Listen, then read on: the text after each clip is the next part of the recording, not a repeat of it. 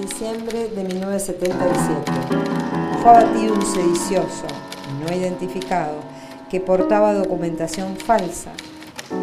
La sediciosa ingirió una píldora de cianuro de la que son provistas por la organización para estos casos.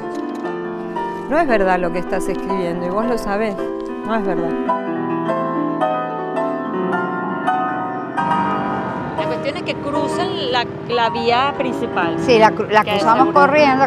Y me dice alto y me dispara. Y de lo que más se acuerda de ella es que cae muerta en la entrada.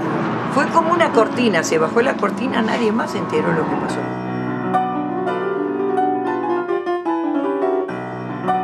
¿Qué pasó con los que llevaron al castillito de Carrasco?